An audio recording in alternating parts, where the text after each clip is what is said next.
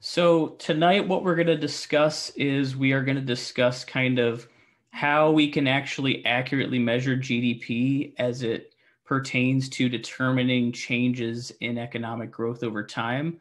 We can also use GDP as a way to estimate the inflation rate. Now, when we talk about inflation later on in its own kind of unique lecture, we'll actually use a different uh, measurement for inflation known as the consumer price index, more so because of the fact that that one is geared towards seeing how prices change in things that you would typically buy compared to GDP, where it's going to include every single thing. So, like things that you might not be interested in buying or you wouldn't normally buy might be overstating the level of inflation in the overall economy because they aren't necessarily impacting you as significantly as they might be impacting a business or a manufacturer of some sort. So, real GDP is going to be our way of measuring things, adjusting for inflation, so we can truly see how much the economy is improving or shrinking over time versus just what's known as nominal GDP, where we're just kind of taking the number and the definition that I gave you in our last lecture. So, just a roadmap of what we're going to talk about in this lecture is um, we're going to define what inflation is and why we would need this difference between real and nominal variables. We will identify what a base year is. So, a base year is kind of the normalizing point that allows for us to kind of benchmark and map specific goods to a specific price so we can see kind of how much productivity is improved overall over time instead of just seeing how much more productivity, but also that is mixed in with how much more things cost, which would potentially kind of confuse or conflate or muddle muddy the waters in terms of being able to um, conclude what's happened to GDP between one year and another year. So we'll calculate those with um, a formula We'll then calculate what's known as the GDP deflator, which is an inflation uh, measurement. Uh, it's an example of what's known as a price level. And then we'll be able to calculate that and calculate the inflation rate. So, last lecture was focusing on what macroeconomics is, what measurements we use for determining macroeconomic performance, particularly as it pertains to GDP, gross domestic product talked about the definition of it, all of the components of it consumption, investment, government spending, net exports. And then now what we're doing is we're converting it to something that's actually usable from a quantitative standpoint so we can make some sort of interpretation about the status of the economy as it pertains to changes over time. But before I do that, I wanted to just kind of make a couple of scenarios that kind of key into what we talked about on um, our last lecture. So, um, so that way you can get a better understanding of what the expectations are when you're given a scenario and you're responsible for interpreting what the actual value of GDP is.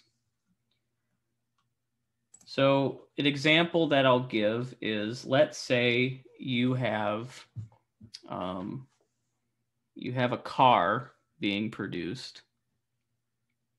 So we're building a new Tesla in 2021. Okay, it costs, uh, let's say $15,000 to produce it. And we end up selling it in 2021 for 40,000. So the contribution in this scenario for GDP in 2021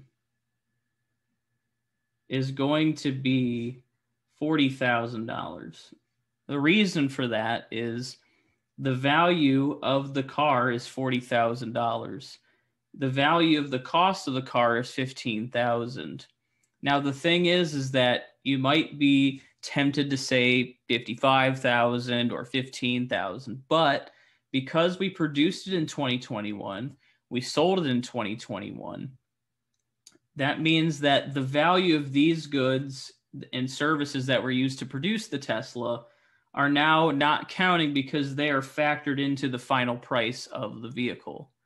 These are now known as intermediate goods.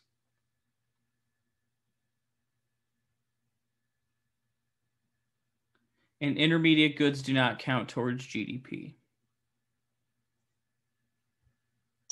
So it would be different if you sold it in 2022 as opposed to 2021, right? Absolutely. So it would be the $15,000. Exactly. So if I rewrite the problem up. Sorry. Um, oh, no, you're fine. I just erased it too quickly because I wrote a bunch of stuff and I wanted to erase stuff, but I figured it's easier to just rewrite it. Um, so what ends up happening is uh, it's sold in 2022 for 40,000, then you'd be correct that this would count as inventories in our 2021 GDP as $15,000 because once the year is ended and it hasn't been sold, it just counts in inventories as our um, counts in inventories as our value of GDP because the marketing sales of it doesn't matter anymore. Just like with the house example in our previous lecture, where if you if the house appreciates in value because it's just sitting on valuable land, well, there was no production added to it, it just became more valuable. So that doesn't really need or warrant being uh, measured or estimated in our value of um, GDP because it's not measuring production. So the car sells in 2022 for $40,000, but that $40,000 wouldn't go towards any GDP, right? Absolutely right. So 2022 GDP's contribution is zero. Because it was produced and claimed as inventory in 2021. Exactly. Okay. Yep. I guess, okay. Thank you. No problem. I appreciate that you're walking through the problem because um, these are the little tricky nuances with GDP. So, like, naturally, you can make the argument that it is still, it's still worth, the car's still worth 40 grand. But in terms of the actual contributions to the economy, that 40,000 has nothing to do with the economy in 2021 because the, the the money didn't change hands in 2021. We weren't able to assess value. It was just kind of claimed as inventories at the end of the year by whoever Tesla, whoever made the vehicle. Again, because when you claim inventories or you're or you're listing or making an account of your inventories, you basically value it at the cost of production. But that doesn't mean you're going to sell it for more than how much you paid for it. In fact, you could sell it at a liquidation for almost nothing. So, um, but in terms of accounting where the money you spent went, it's good to make sure that you're valuing it at how much you cost because someone was hired. So that money that you paid that person to make that product, even if you sell it for nothing, ends up circulating through the economy and allowing for other goods and services to be produced or purchased by the household uh, that was hired to do your job in terms of manufacturing your vehicle. Um, the example that I gave, I'm not sure if I gave this example uh, last lecture or not, but I'll I'll give it again. Is that um, I bought a house in 2020 It's kind of funny. It says bought house, and I just keep looking at it as if I made a typo, and that if you just make that a V, then it's my house, the vote house. So, but I bought a house in. That's why everyone doesn't know how to pronounce my last names because they see this and they're like, "Oh, well, if you just change the V to the V, that's how you pronounce it." But it's vote like you're voting for me to to be your senator or congressperson or dog catcher or whatever. But um, so I bought a house in 2020. Uh, I paid an amount for it. I'll just say I paid 200,000 for it. I might have paid less, I might have paid more, but just for the sake of example, I'll say I paid 200. And I spent $15,000 on renovations.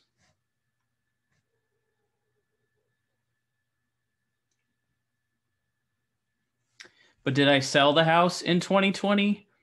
No, I didn't sell the house in 2020. I'm still living in the house um, for now. And so 2020 has came and went. And so, what is the contribution to 2020's GDP? 15,000, right?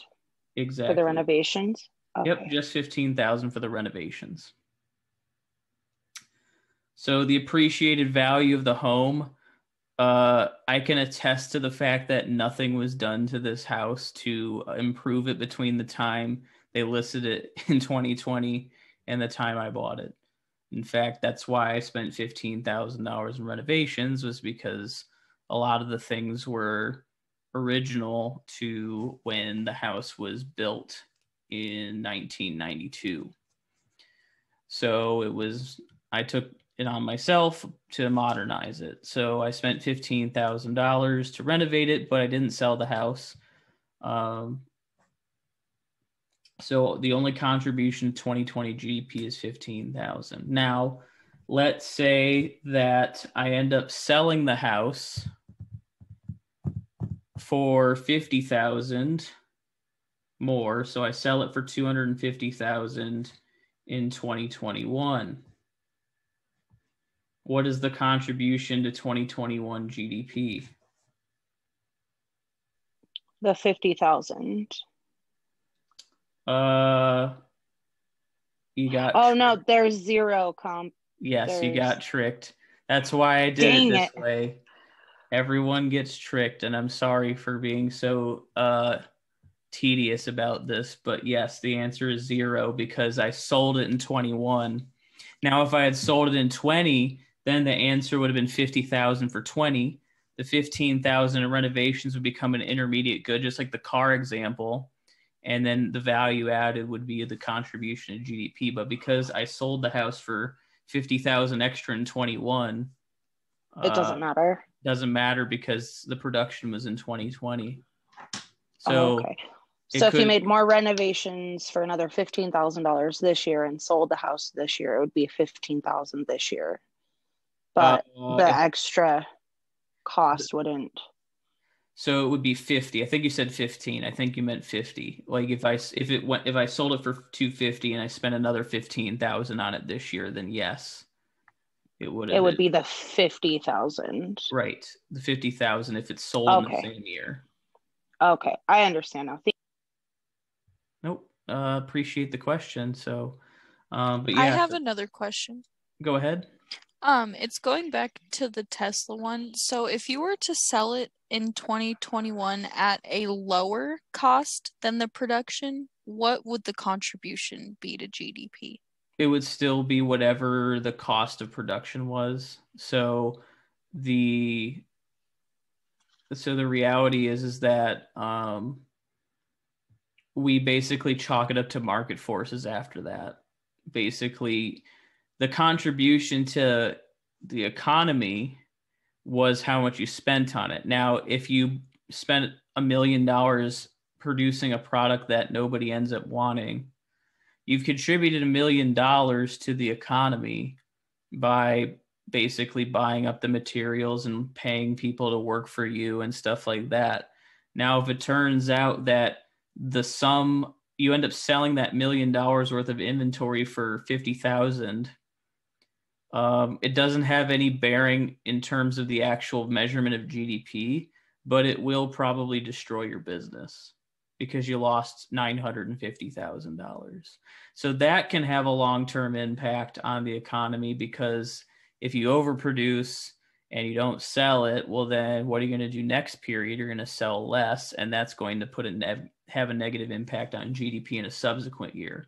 So it's important for you to not only make stuff, but you also have to make stuff that actually that people actually want or else the market will kind of destroy you in terms of not buying anything so Um, you can see the supply and demand forces that we talked about before can play a role in terms of how inventory may impact the long term GDP potential. And we talk about aggregate expenditures towards the end of the semester. Uh, I want to say two or three, four lectures ahead of this one or after this one. That's something that we'll talk about uh, in quite a bit of detail. So, what I don't understand now that she asked that question is so you build the Tesla, it costs $15,000 to produce mm-hmm. in 2021. If you sell it in 2021 for $40,000, the GDP contribution would be $40,000 right. as opposed to the 15,000. Right. But if it costs $15,000 to produce and you only sell it for $10,000, wouldn't the GDP contribution be $10,000? It would be 15 at. It, it can't be anything less, more th- or less than what it costs you to produce it. Okay, so anything that it costs above production would be the the GDP contribution. But right, because there's value added. So like value added. So okay. the term the whole is greater than the sum of the parts. So like the whole reason why you go into business is to make something and then it has a perceived value that's higher than how much it costs you to make everything and combine it together.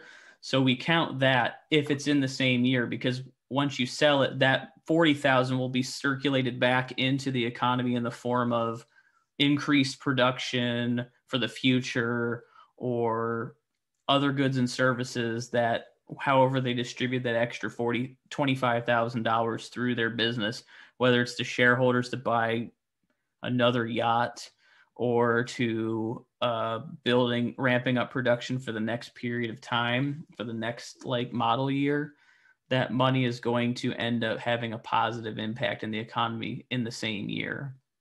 When it comes to if you sold it for less um, chances are you're either making a product that nobody wants there's a really really bad economy and you probably shouldn't have made it to begin with or uh, you're rushing to sell it. Um, okay thank you. Yeah it's a good question though. I figured that no one's asked me that question. I've been waiting for someone to ask that question to be like well what if you sell it for less? Does that mean that the value of it is less? And the answer is no because uh, if you sell it for less it harms the business and the future production but it doesn't harm or have any impact on the production that's already happened, if that makes sense. I'll do one more example um, that isn't focusing on this time of year type of scenario. So let's say that, um, let's say that you are giving a friend a ride to work.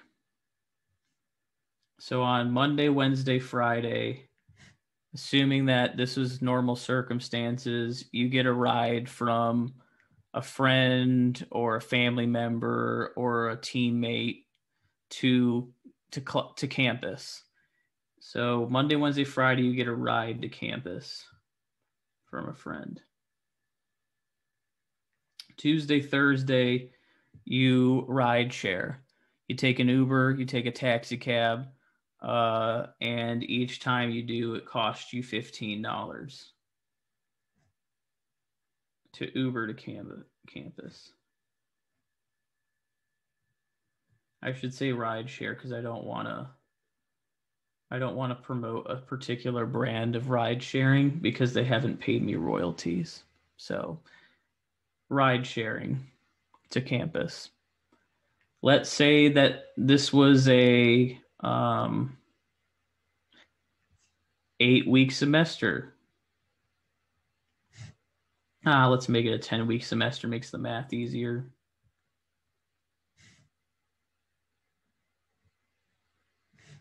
Well, what is the contribution to GDP in 2021 as a result of this? Well, every time you go on Tuesday, Thursday, it's $15. So 15 times 2 is $30. You do that 10 weeks, it's $300.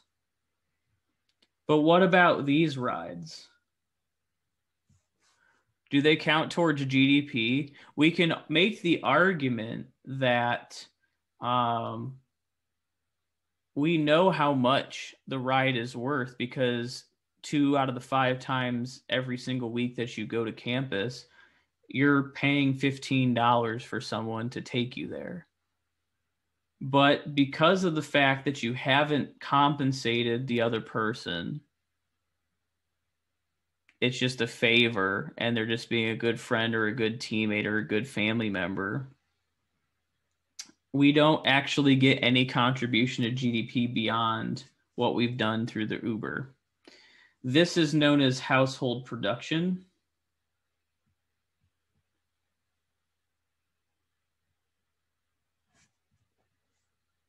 And uh, so this counts as zero. This counts as 300 so your total is $300.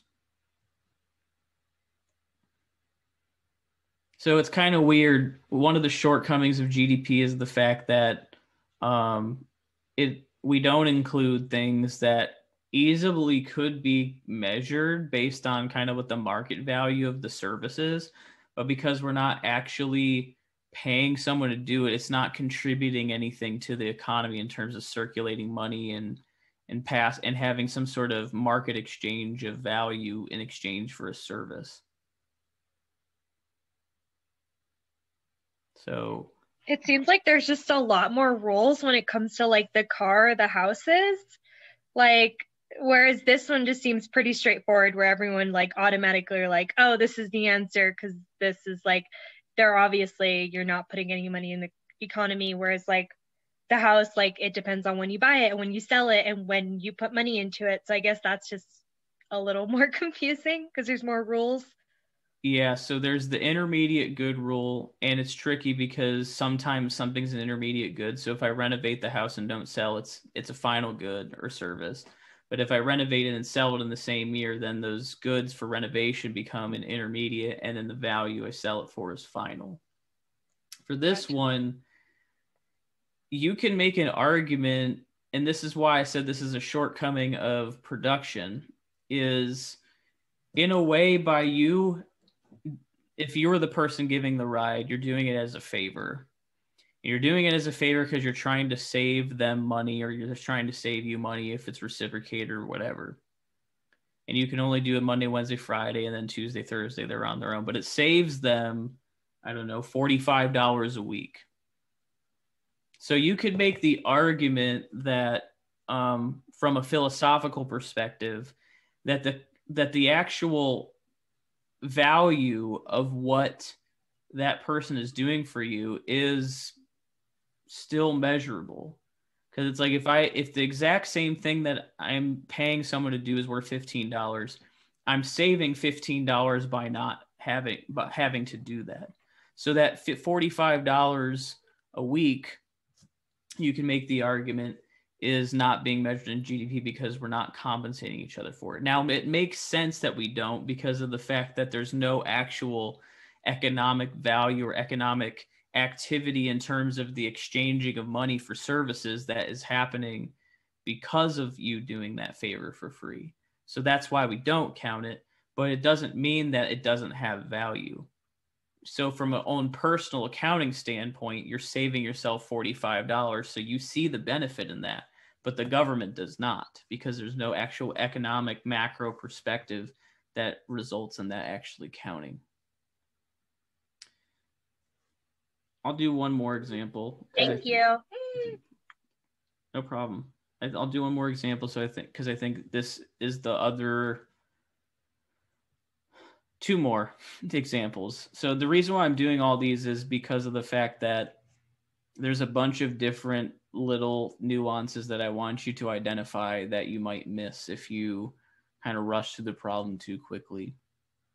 So one of these has to do with um, let's say that you are a server at a restaurant. Okay.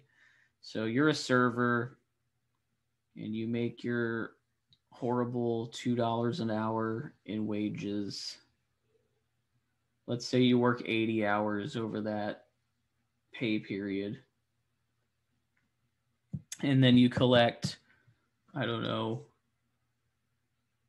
$300 in tips over that, well, a week. I feel like if you're only making $300 in tips over that two week period, then you're probably going to have to have a second job and you probably would have one anyways. I don't know. But, anyways, this is just for the sake of math and simplicity in math. So you're making $300 of tips in a week. Uh, 150 of them are cash. 150 of them are credit card.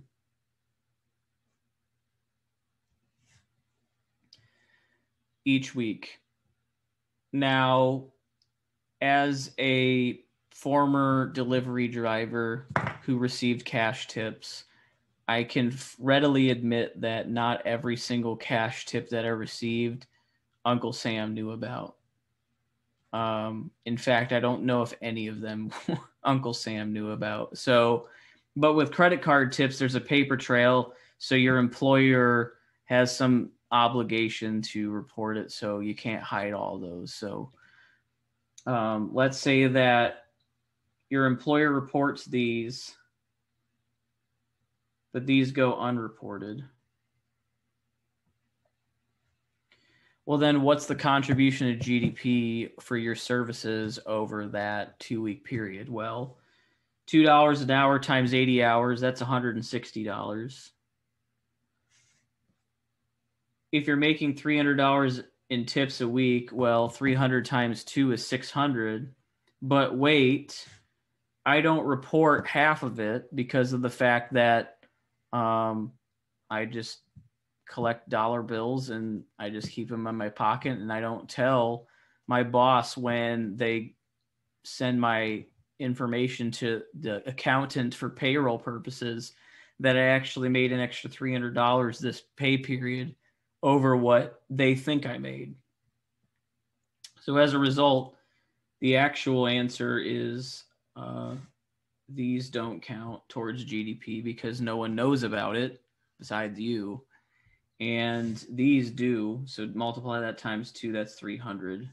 So you end up with 300 plus 160, which is $460.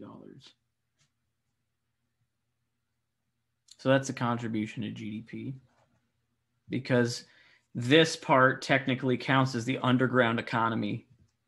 So whether it's not reporting tips, whether it's not reporting um, illegal transactions of goods and services it call it all gets grouped into the same category because it's concealed from the government. Therefore the government doesn't know about the value that's being created. Because in reality you actually created an extra $300 worth of value to the economy but because you never reported it we can't keep track of it so it's just like the household production thing before, where like technically there's value there and you could actually probably quantify it. But because of the fact that it's not contributing to the economy that we're that's legal or above board or like the surface level economy, we don't count it or we are not able to because we either don't know it exists or it's illegal and we don't really want to say, hey, you know why we're not in a recession? Because we decided to, to count all of the the drug trafficking that we've said we were trying to stop as as benefits instead of something that we're trying to keep from happening. So, um, so you won't see the government do that. And then, uh, last but not least, just as a reminder, uh, net exports is equal to exports minus imports. Again, we did an example in the previous lecture where we had like the asparagus was coming from China and the wheat was being sent to Canada. So the wheat counted positively towards GDP, but the asparagus counted negatively towards GDP. And as a result, we ended up with a negative net exports value.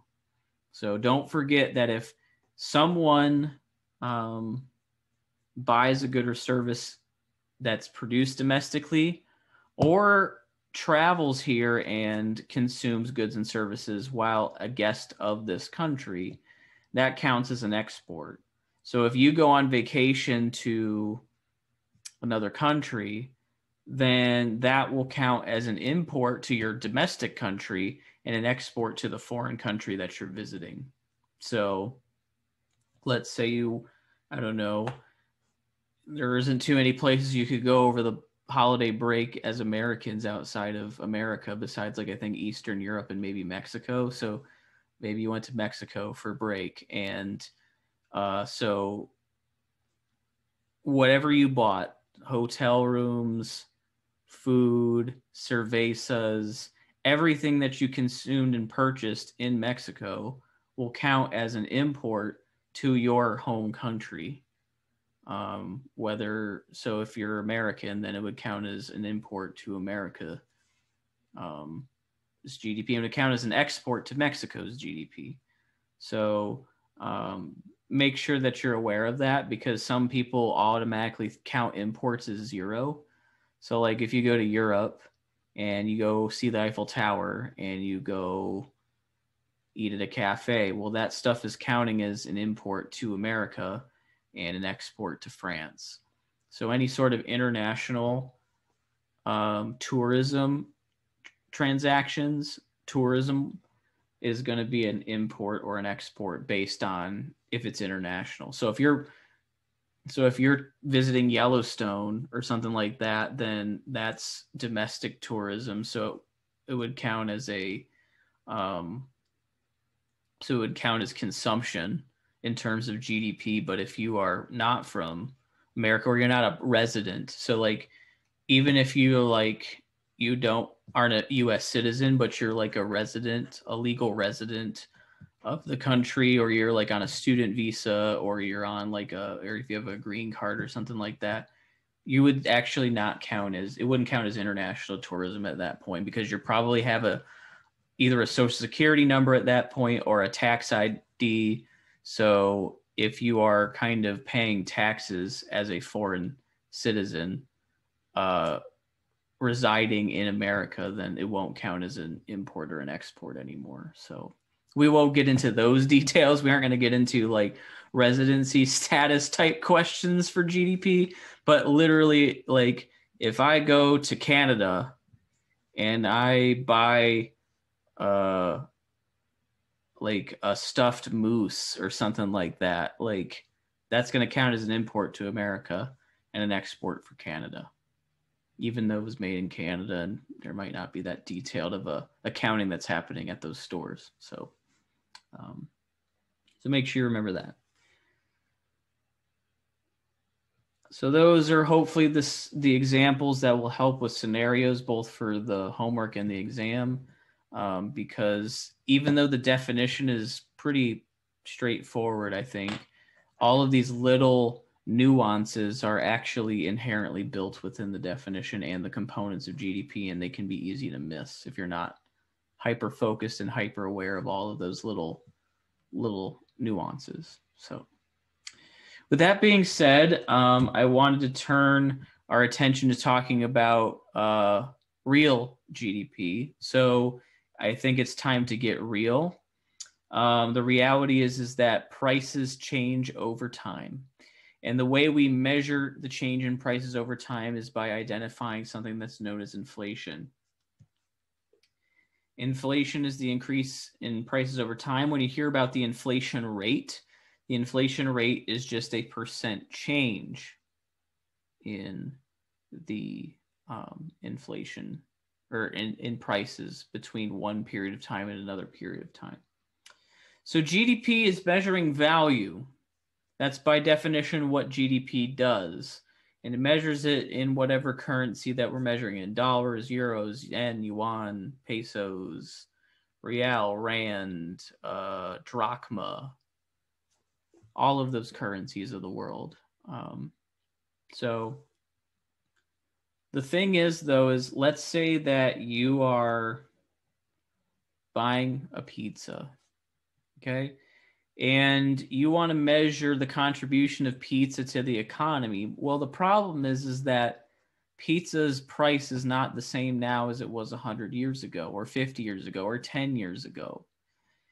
And as a result, if you don't control for that price fluctuation, you're going to actually overstate the true level of growth in your economy because of the fact that you um, were saying, oh, well, we made, let's just say you made 10 pizzas in 1916, you made 10 pizzas in 2016, and you made 10 pizzas in 2021.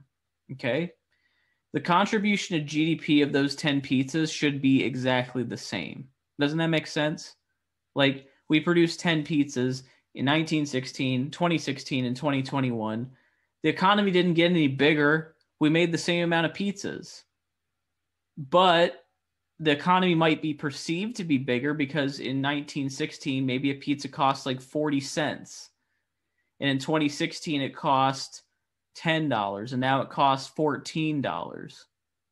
And so what we have to do is we need to control for that inflationary pressure so that way we can get a more accurate estimate on whether the economy is actually growing and if it is by what rate is it growing at. So there are two types of gdp that um, you can measure. The first one is nominal gdp nominal gdp is like the simple calculation of this is how much it was worth right now and we added up all the stuff and how much it was worth right now and the total is our nominal GDP. Real GDP, on the other hand, is going to evaluate the same production, but instead of assigning the value of how much it was worth in the moment, we're actually going to basically pick a fixed value for every good and service that's produced in the economy and basically assign that same value to each good and service no matter what year it's produced. And that's known as a base year.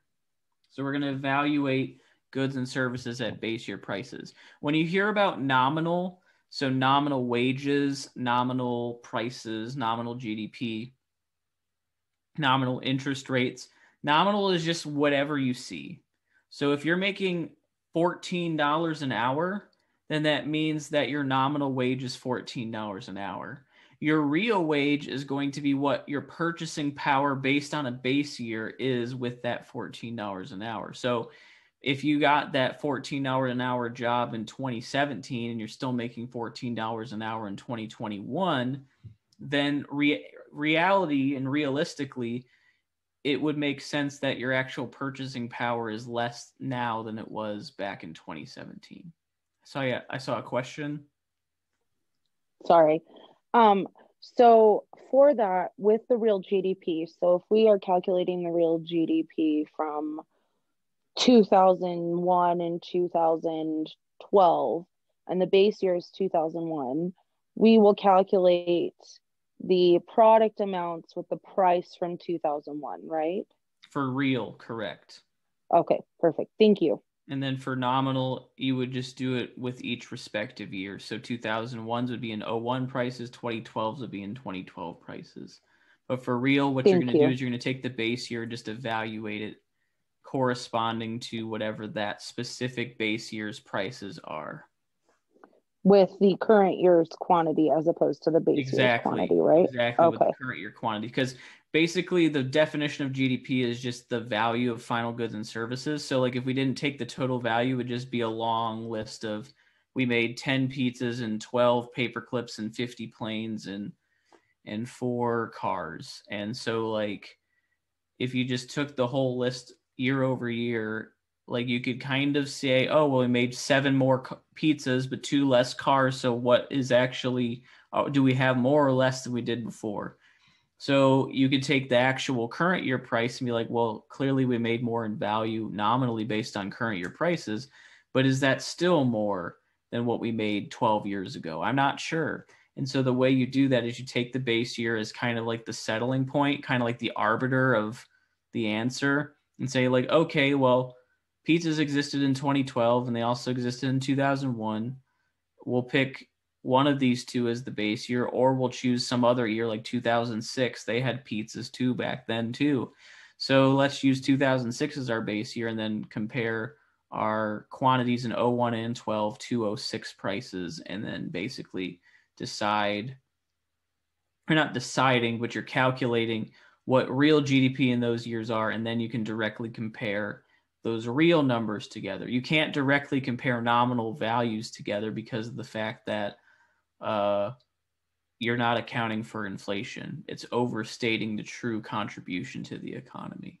So just like you can make $14 an hour four years ago and $14 an hour now, but I'm pretty sure you won't be able to get as much with the $14 an hour now than you did four years ago.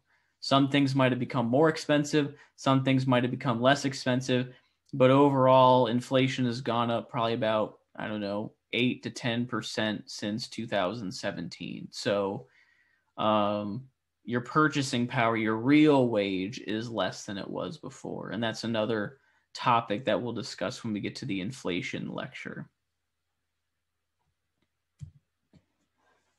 So again, a base year is a year chosen to, to provide a consistent comparison between variables over time. So what that means is that you can just actually determine how much the economy has grown. You couldn't do that before with just nominal GDP because you wouldn't be accounting for inflation. We'll do an example that shows just by how much you would be overstating the true inflation rate as a result of not, excuse me, the true growth rate it, by not converting this to a real variable. So we don't want to mask inflation. We don't want inaccurate measurements. We want accurate measurements because you know how people like to poke holes in scientific arguments or say like this data is is biased or inaccurate. Well, the, we have to do these conversions so that way we actually do exactly know what we're doing. Like let's say you're running a business and you don't adjust for inflation, you might make a fatal mistake and for your business by over uh, being over optimistic about your projections because you didn't convert to a a measurement that accounts for inflation. So that's why we have to do these conversions. Sorry, I have another question. I apologize. You don't need to so apologize. For calculating the real GDP, can right. you pick like 2001, 2006, and 2012 and make 2006 your base year? Right. How would that would that still calculate the same or you would use the rates that were relevant in 2006 when you're calculating real GDP for 2001? So it doesn't matter what year you choose as a base year, really. It's just a matter of making sure you're consistent when you're calculating a real variable that you're using the same base year for all. So so consecutiveness isn't important as long as you're using the same base for everything, right? Right. Okay, perfect. So now when the BLS or um, whoever does the calc- Census Bureau and NBER, whenever they're doing these calculations for the um, choosing the base year, there are kind of two things that they're looking for. One is they want something in a year in which like there wasn't some anomaly with prices. So you don't want like let's say 2007 or 2008 were bad would be bad years for a base year because 07 uh 07 through 09 just in general would be a bad choice because 07 which is ironic because the example we're about to do is assuming 2009 was a base year but we'll ignore the the consequences of that but in 07 you had and 08 particularly 08, you had this crazy surge in prices and inflation because of oil prices going up. And then subsequently in 09, you had deflation. So you don't really want to choose a year in which deflation is the subsequent year or crazy inflation is the year itself or subsequent year because then you get like weird numbers that it won't really change anything, but it'll still it'll make the calculation seem suspect if you uh, have a weird number there because of inflation or deflation in the year in which you're using as the base year.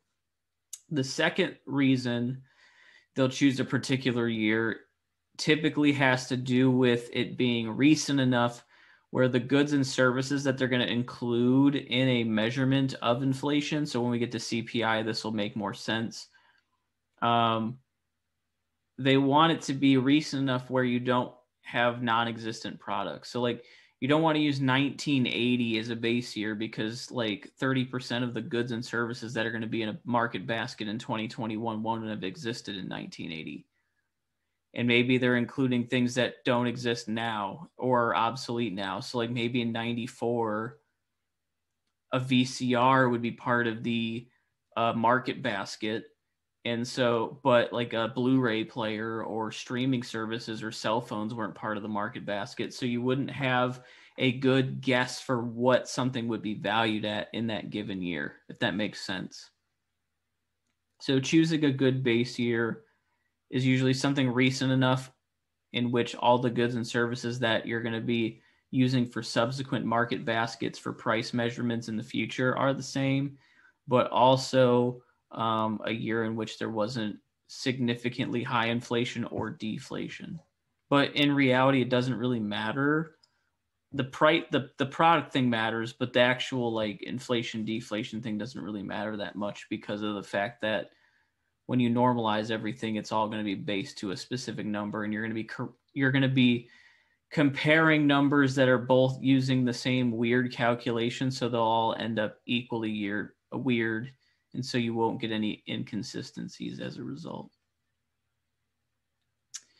But anyways, to go through a problem, this might help kind of clarify any questions that anyone may have related to calculating this is here's an example in which we have uh, an economy that is consisting of three products party hats, pizza, and soft drinks.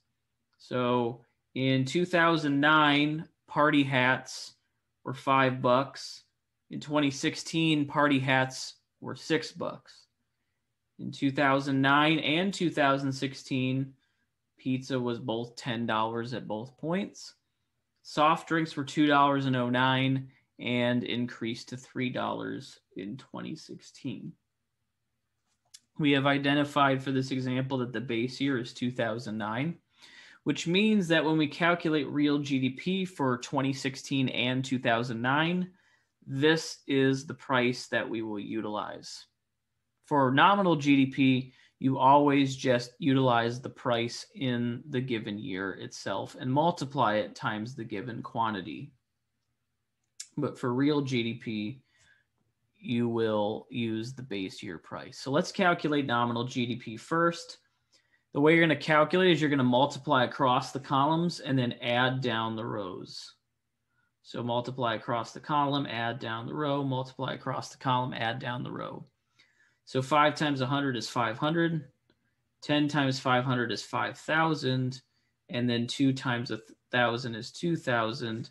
So you should end up with 7,500 as your nominal GDP in 2009.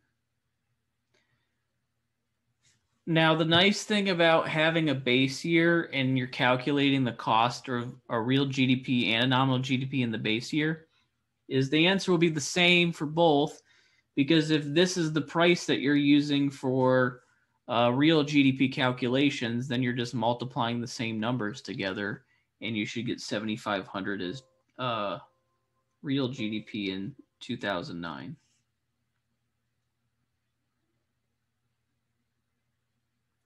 I would write it in the slot, but my computer is not being cooperative. So if you want to find nominal GDP, in 2016, you're going to multiply across the columns and add down the rows. So you end up with 600, 6 times 100 is 600, 10 times 550 is 5,500, and then 3 times 10, 10 is 30, 30. So when you add that together, you end up with 9,130 as your nominal GDP for 2016.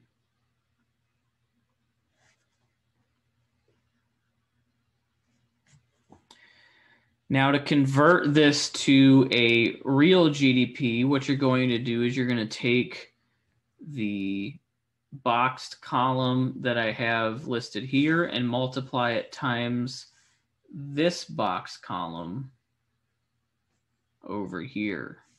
So to find 2016 real GDP, you're multiplying this box times this box this box times this box, this box times this box, and then adding down the rows again. So when you do that, you're going to get 5 times 100, which is 500. 10 times 550, which is 5,500. And then you're going to get 2 times 10, 10, which is 2020. And it turns out that when you add all that together, you get 8,020 as your real GDP for 2016.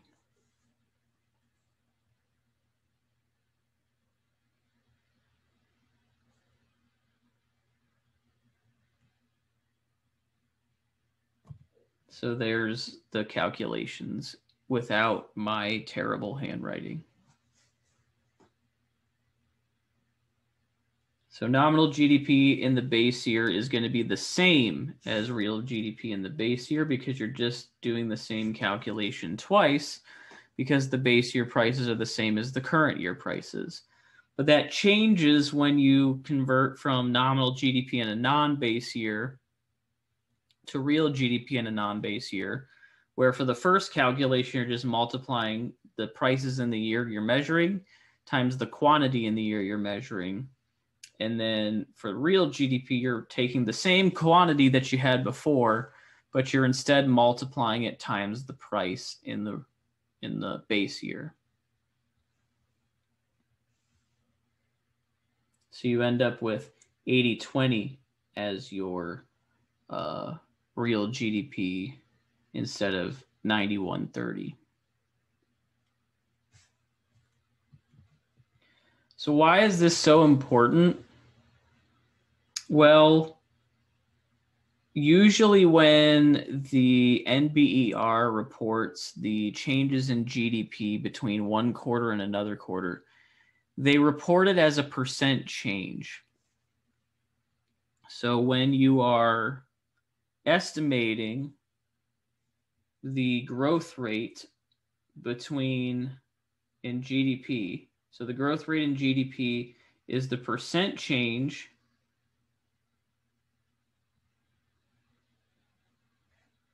in real GDP. Now, if you're not familiar with percent change, percent change is the following. It is the new value minus the previous value or old value. I'll just say old because it's easier to say that.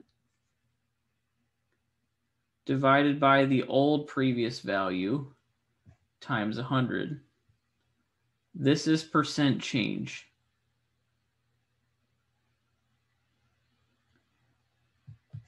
You will use this formula for calculating the growth rate in the economy you'll use this formula for calculating the inflation rate.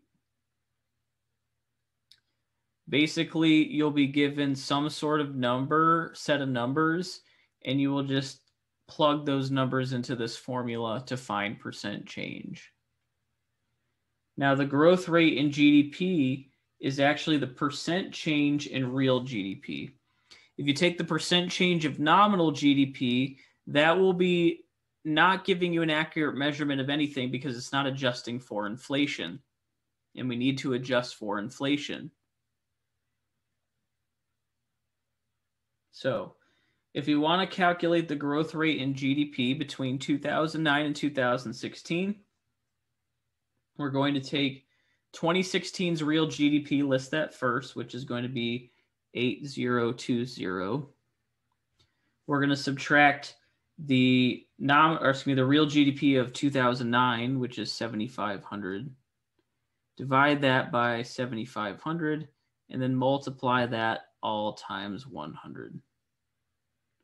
So you end up with 520 divided by 7,500 and then you multiply that by 100. So that ends up canceling those out. So you end up with 520 over 75 and when you calculate 520 over 75, you end up with an, uh, excuse me, a growth rate of 6.93%.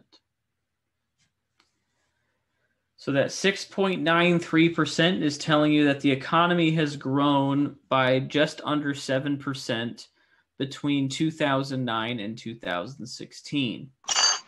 Do you round for those percentages? Like, would you round up to 7% or would you keep it as accurate as you could? I would just round to tenths or hundredths.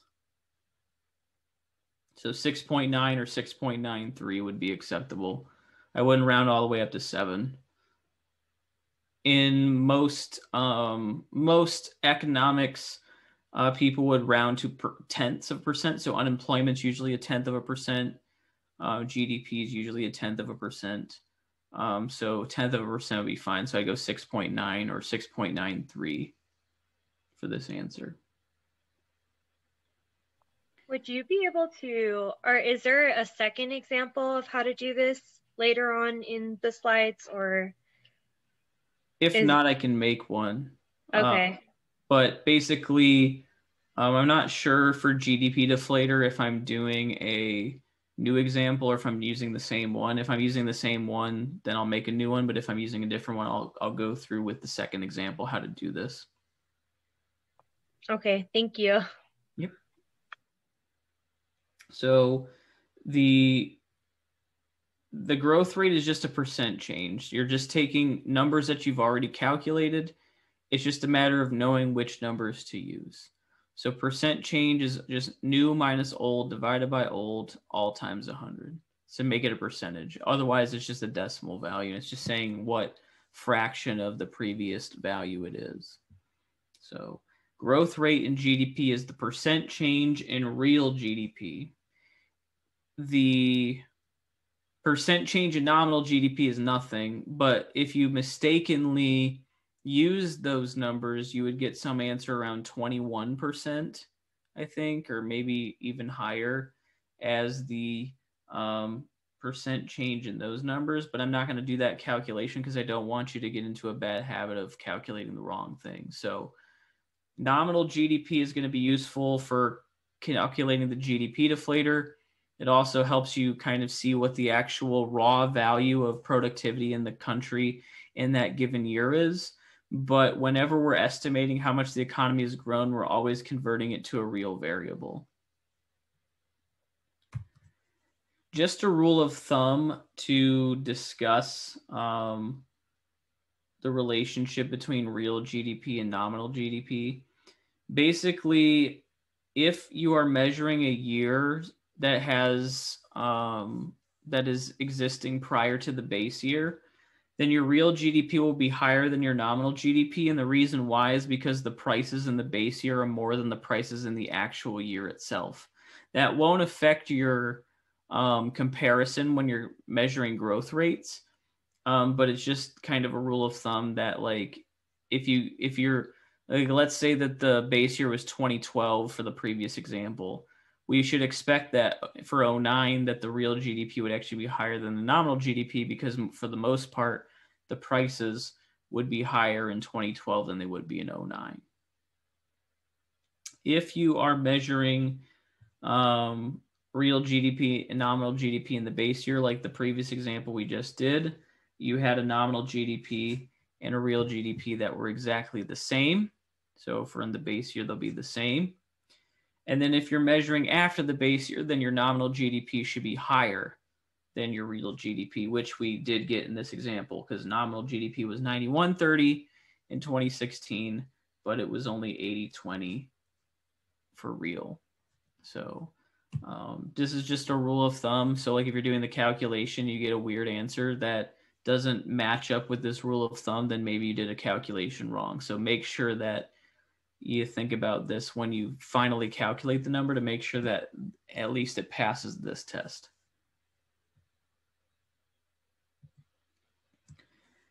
Now, as I mentioned before, inflation has its kind of fingerprints all over why we're doing these calculations because again, prices always change. It would be nice if prices didn't change for the sake of simplicity and calculations, but there is ramifications of us not having um, inflation or consistent price changes in the economy. That's usually a symbol or a signal of something problematic. So if we have deflation or stagnant prices, typically means that the economy isn't growing. Um, but if we do have increasing prices, It's usually a sign that the economy is growing, but we don't want prices to increase at rates of like 50 or 100% because then at that point, uh, for people whose wages aren't changing very frequently, they're going to end up being significantly impacted by the fact that their purchasing power is going to drop really, really fast. So,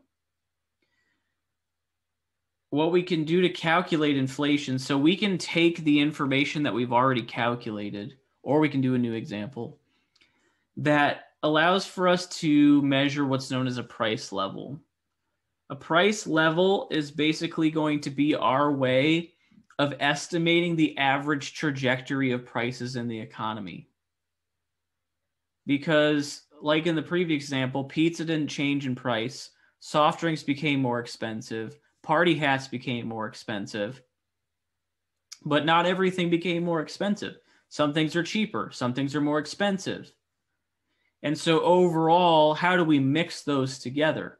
Well, you can't because they're different products. So, the way we measure it is we basically create what's known as a price level where we're taking the ratio of the average cost of a certain basket of goods and then comparing it to how much it cost in the past. And then that index it's unitless so there's no per, so there's no dollars no units it's just a number that you can compare to another number for the sake of calculation. So it's an ordinal type of calculation, but it, it is interval in terms of its, you can take a percentage of it. But all in all, there's going to be two major price levels we talk about in this class. The first one is GDP deflator, which we're about to calculate. The second one that's more important is the consumer price index, because the consumer price index is going to be the um, measurement of average prices for average households in the economy. So it's going to look at specific products that are specific to families and what they would buy compared to GDP with which remembers including everything. It's including government contracts, interstate highways, excavators, um, trees. It's including everything. So I don't know how many if the average family buys a tree every year, or if they buy an excavator, or they buy seven miles of Interstate 80. I don't think they do that. So we don't really want to see what the impact of those costs are um, to have a more accurate measurement of what impacts you as a household. But without further ado, we'll measure the GDP deflator. So, how do we calculate it? The reason why we include this one is this one is pretty easy. Once you've already calculated nominal GDP and real GDP, all you got to do is take the ratio of the two. So remember, I told you that prior to the base year, naturally prices are lower before the base year. So you would expect reasonably that real GDP will be higher than nominal GDP. In the base year, they're the same. After the base year, the nominal GDP is higher than real GDP. So that ratio, when you divide nominal GDP by real GDP and multiply it times 100, that is going to be your GDP deflator. Now, this will also be true for the consumer price index later on. That if you are measuring the CPI or the GDP deflator or any price level for that matter in the base year, then that means that your value for the index or the price level is going to be exactly 100. And the reason for that is because if nominal GDP is the same, real GDP is the same, when you divide them out, you get one. If you're multiplying that times 100, then 1 times 100 is going to give you 100. So, um, keep that in mind. That's a little shortcut in terms of calculations for inflation based problems, is like instead of having to go through the process of doing an extra calculation, if you know that the base year is 09 and I'm asking you for the CPI in 09 or the GDP deflator in 09, the answer is 100. You don't even have to do any sort of calculation because you just know that in the base year, the price level is always 100. So don't subject yourself to the risk of a typo you just automatically know it's 100. After the base year, it should naturally be greater than 100 because the ratio of this will be greater than 1 times 100. And then before the base year, it should be less than 100 because real GDP will be higher than nominal GDP. So you end up with a decimal value. When you divide them out, that's like zero point something. It will be less than one.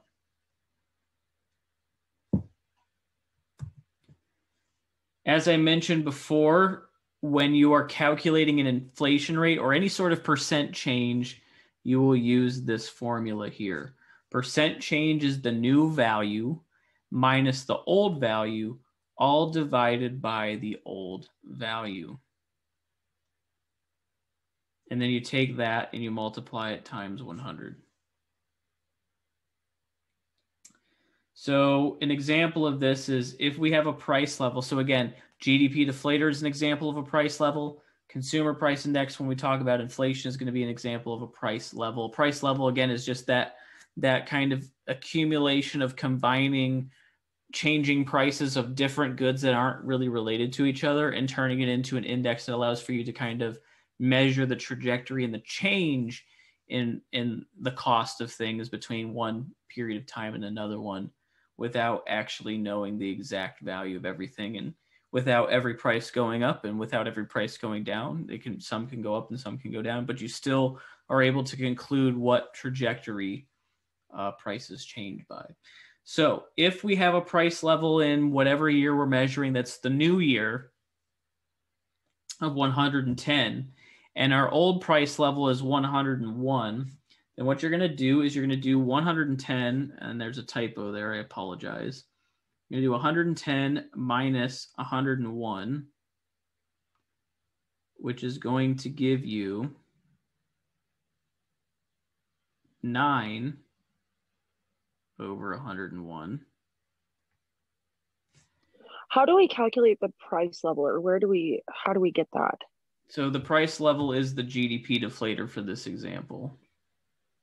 So you would create, you would oh, calculate oh, okay. this number, and then you would compare those numbers in this percent change formula to find your inflation rate. Okay, thank you. No problem. Thanks for the question. So I just realized that this is all wrong, so I'm just going to erase all this. Bam. This is what happens when you try to change a number easily, and then you realize that math is more complicated than just changing one number. So the actual calculation is this 110 over 101 divided by 101 times 101 is going to be, excuse me, 100. Sorry, not 101. Is going to be 9 over 101, which is going to give you about 0.89, I believe, is the calculation that I got. Um, 9 divided by 101. About 0.089. Multiply that times 100 and you get 8.9% as your inflation rate. So that means for this example, prices are now 8.9% higher than they were in the previous period that we were measuring.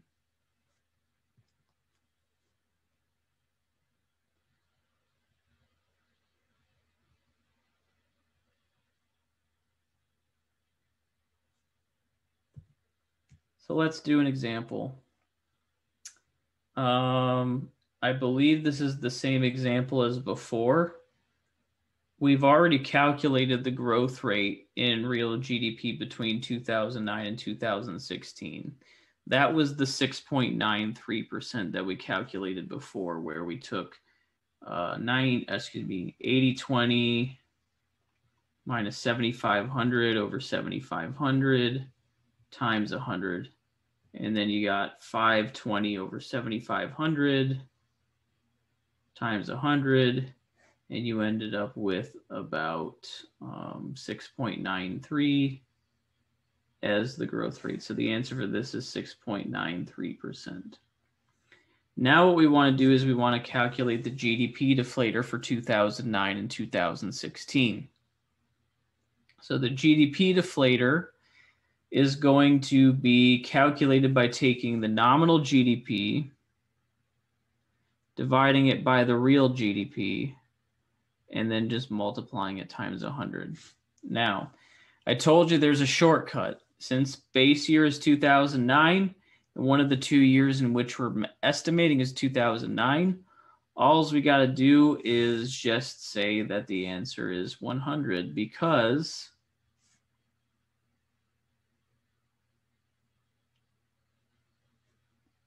it's the base year, so you automatically know it's 100.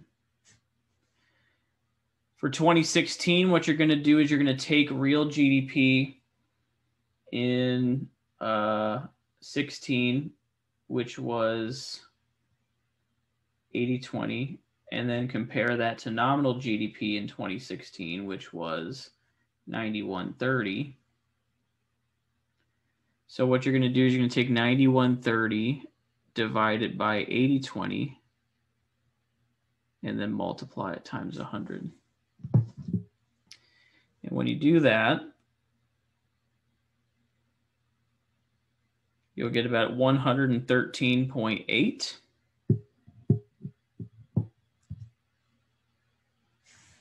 So the GDP deflator in 2016 is going to be 113.8. So you get 100, you get 113.8. Now to calculate the inflation rate, all you're going to do is going to take the percent change between your two GDP deflators. So when you do that, you're going to take the new GDP deflator of 2016, which is 113.8 minus 100, because that was the GDP deflator in 09. Divide that by the previous GDP deflator, which is 100. Multiply that times 100. That cancels. You're left with 13.8% as your inflation rate.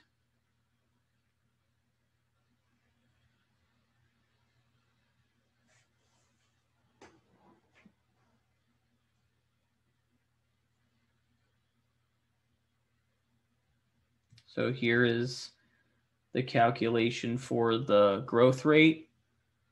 The first problem that we did, where basically you're taking the real, you're, you're taking the comparison of real GDPs of 016 and 09. 8020 minus 7,500 is 520 divided by 7,500. That ratio gives you about 0.693 multiply that times 100, you get 6.93% growth. So that's telling you how much the economy grew between 2009 and 2016. If you want to calculate the GDP deflator, well, for 2009, the GDP deflator is really simple. You don't even need to do a calculation. But just for the sake of explaining why you wouldn't need a calculation, Real GDP and nominal GDP are the same in 09, so these cancel out and you're left with 1 times 100 and you get 100 for your GDP deflator for 2009. To calculate the GDP deflator for 2016, then you plug in the nominal GDP of 9130, divide that by 8020. That ratio gives you about 1.1348 multiply that times 100 and you get about 113.48 as your GDP deflator for 2016. And then when you want to calculate the inflation rate between the two years, you're just going to take the new GDP deflator of 113.48 minus the GDP deflator of 09, which is 100, since 09 is the previous value, put that in the denominator, and you end up with 13.48 over 100, 0.1348 times 100. Inflation rate is 13.48%.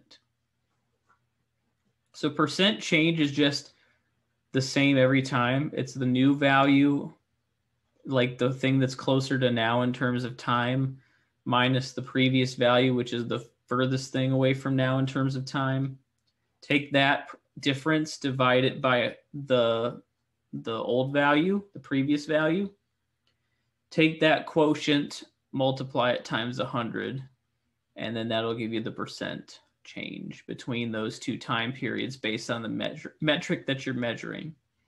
So if you're measuring price levels like GDP deflator or CPI, then your inflation rate will be a uh, will be measured by that. So anything if it's a percent change in a price level, you're measuring inflation. You're measuring the change in prices between those two years. If you are taking percent change of real GDP, like you were in this example, then what you're measuring is the growth rate. The growth rate is how much bigger or smaller is the economy in terms of its production value between now and the previous time period. So in this example, it's saying that the economy is about 7% bigger than it was back in uh, 2009.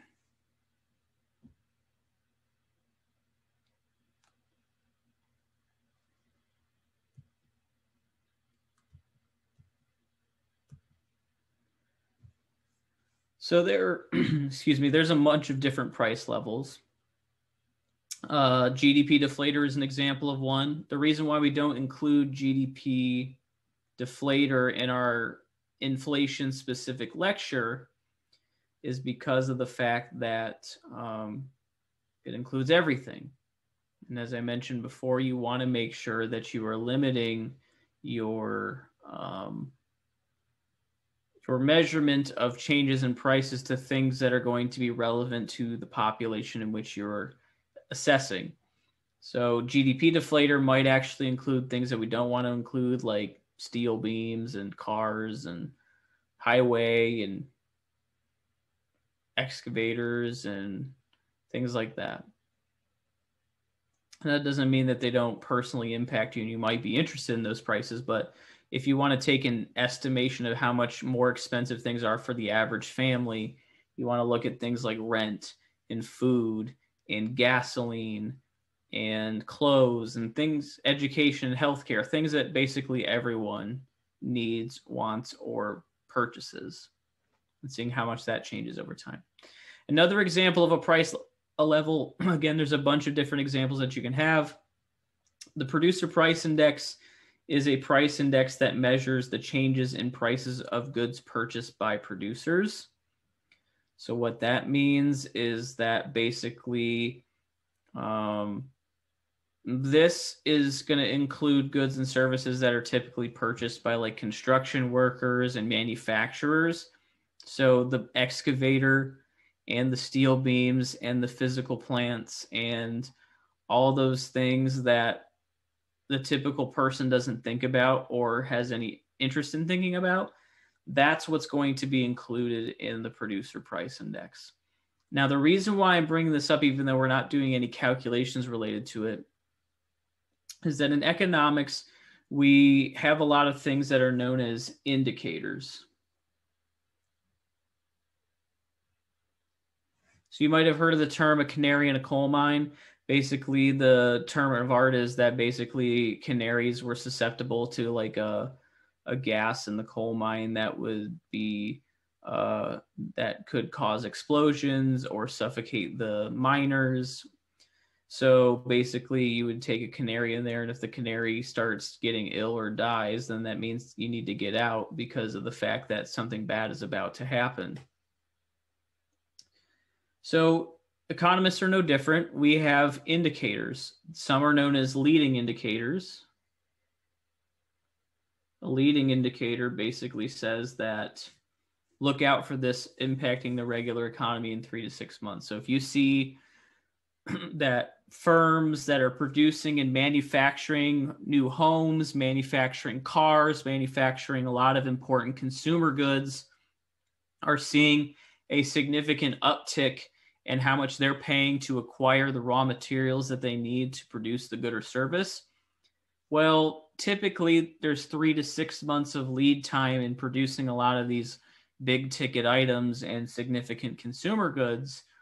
So basically, when you see an uptick in the producer price index in terms of how much prices are going up, it's a leading indicator to let you know as an economist or as a citizen that basically three to six months from now, you should reasonably expect that your personal cost of living is going to go up because that cost is going to be passed through to you in some way, shape, or form. Not all of it, but some of it will.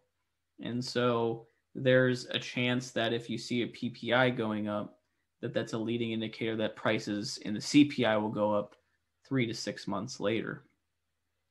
We also have what are known as lagging indicators. And so lagging indicators are basically there to confirm something that already exists. So I don't know if you are into memes or not, but I don't know, eight years ago was kind of like when memes started exploding. Now it's basically the, ter- there was like certain templates for memes and they keep coming and going and changing and evolving. But kind of like eight to 10 years ago was like the big heyday of memes where basically like there was a specific like 12 set of templates and everyone followed that and fit that trope. And then that was what they shared. Nowadays, memes are just basically viral jokes through a visual medium that may or may not follow a particular convention other than they're trying to make some of some fun of some sort of common theme but oftentimes it's probably not actually accurate or funny so uh it may not be a good meme but anyways there was this one meme and it was like a pink like background and it was a picture of slowpoke which is a pokemon and so the joke for Slowpoke was always that like he would tell you something that was significant about the world like way after it happened. So like a Slowpoke meme of right now would be like, "Hey, did you hear about this coronavirus?" Like everyone knows that it's happened. Everyone knows that it has existed because it's permeated every aspect of our lives in terms of taking our lives, making us ill, taking affecting our jobs and livelihood because of shutdowns or because of economic consequences of it. Um, it's strained our healthcare system. It's changed our education system. So um, it's obvious that it's happened and it's there. But um, basically, it's there to confirm that something existed. So lagging indicators do have a usefulness be, besides being kind of like a check to say, yeah, I guess it was really a recession. Um, but basically, they're economic indicators that happen like way after the fact. That, like, okay, three to six months of a leading indicator, the PPI was, the CPI is kind of the current. What is the kind of what is the kind of cost that the average family is dealing with in the moment? You might have a lagging indicator that might basically um, be a backstop to indicate that maybe the um, that the worst is over. So basically, like maybe you know that three months after um, it like increased prices affect CPI, it might affect this other indicator. And then basically, if you know there's a three month window between it impacting that and that, once it stops or once it slows down, that can be an indicator to confirm that maybe the worst is behind, or maybe that the significant event is kind of ending. So, lagging indicators are there not only to help with recursive models and try to allow for discounting factors for very sophisticated forecasting models, but they are also there to try and kind of confirm and uh, confirm what's already happened or to make a prediction as to when what's currently happening might uh, come to a conclusion. So, um, price levels, this is kind of your experience of indicators. Okay, so like maybe it's a warning sim- signal, maybe it's just giving us a current kind of cross section or bird's eye view of what's going on right now, or you might have a lagging indicator that tells you, okay,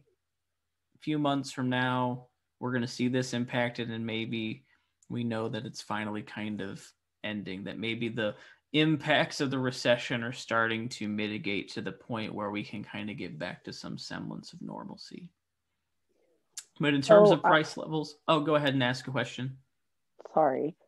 So, talking about like the lagging indicators, mm-hmm. So when we were talking about recessions, how they have historically happened for quite some time, although the the time space in between them has varied, we our economy has regularly gone through varying levels of recession. Right. So with the lagging indicators, why aren't those used by economists to see what is being done incorrectly in the economy to help prevent recessions in the future? So um, that's a good question. Um, my short answer for you is that economists do use it. It's just that people don't necessarily listen to us because the reality is is that um, one of the biggest critiques, as we'll talk about with unemployment, is like everyone says that unemployment is understated or just because you have a job doesn't mean that are you are you have a good job and all this other stuff. And the reality is is that economists by nature are collecting this data and reporting this data. It's just that when it comes to how you disseminate and receive your information whether it's through a newspaper or a website or social media um, as someone that may not have the economic training, you're just going to kind of see the big the big number and the big picture and you're just going to kind of some are just going to take it as face value and some are going to be like well i'm just not going to listen to it because it's biased and it's missing all these key things. But what you'll end up learning is that all these indicators exist and a lot of people have to go through great lengths of doing sampling and research projects to actually make these indicators generally known to the public or available. And so the there's actually something that's known as there's a couple of things. There's the Congressional Budget Office, the CBO, which actually basically goes through and has to do an accounting of every single bill that involves the budget and it basically makes a recommendation to Congress as to what the economic impacts of this bill is going to have. So, whether it's so back in 2017, the CBO reported that the tax cuts that were passed would cause a $1.5 trillion hole in the budget moving forward over the next five to 10 years in terms of our deficit and our national debt. Uh, some people who are fiscally conservative think that's a huge problem. Uh, but Congress still passed it anyways. Um, so the people that are clamoring for student loan debt cancellation now are saying, oh, well, we can't afford it now. But the reality is, is the amount of student loan debt that exists out there is $1.5 trillion. So if you were going to blow a $1.5 trillion hole in the budget, why didn't you just cancel every every student's student loan debt instead of giving tax cuts that only benefited i don't know marginally benefited you $200 um, and then yours isn't permanent either. It's going to end up um, it ends up getting expired after 2021 and then it goes back up unless it's renewed or Cong- the new congress comes in and changes those tax laws. So they're always doing this analysis furthermore, there's also what's known as the Council of Economic Advisors, which is basically PhD economists that uh, counsel the president on um, economic issues related to things. Furthermore, you have the Federal Reserve System. So, the Federal Reserve System, even though it's the central bank of the United States, has 12 district banks and its main headquarters in DC, which means you have 13 institutions and basically the people that are hired at those institutions are PhD economists who basically do a bunch of research and reports based on the current economic conditions in the economy. So the reality is is that we have all this information. Some of it is a problem of messaging, like it's hard to break down something this complicated into kind of like a like a like a catchphrase or like something that's easily digestible by 330 million Americans. So like think about uh think about all the people that have never taken this class and never will take this class and won't be able to kind of understand what I'm teaching you. And not because they can't, but because they don't have the training to figure that out. Furthermore, there's still going to be people in this class who pass the class and still won't remember what I just said, and, and, and not just today, but in terms of future indicators and using the Federal Reserve Economic Database. Um, all of these kind of little tools that allow for you to be able to find this information and see like how do we um, how do we affect policy to try and mitigate recessions or to get out of them so some of them are automatically built into the system and then the last portion of this course is entirely about economic policy where you're taking this information and you're enacting policy around it to try and stop a recession or to slow down a recession or to prevent a recession from occurring. So all of this stuff is happening. All this stuff has always happened, no matter who is the president, no matter uh, what status the economy is in. It's just a matter of who's listening to us and when they listen to it, are they actually hearing us and are they actually taking our advice or wisdom?